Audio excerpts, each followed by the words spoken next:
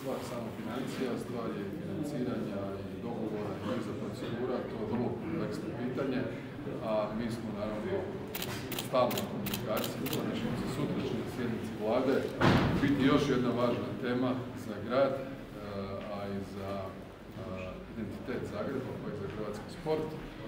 Na e, sjednicu vlade ide sporazum između vlade i Zagrebačke nadbiskupije o rješavanju pitanja zemljišta na kojem se nalazi Zagrebački stadion i mislim da smo pronašli jedno sveobuhvatno rješenje o kojem ću nešto više reći sutra, tako da mi se bavimo svim dijelovima Hrvatske, a posebno se bavimo i glavnim gradom u kojem živi četvrtina stanovništva u kojem smo se rodili i živjeli. To će sutra na vladi biti i novi čovjek za HEP.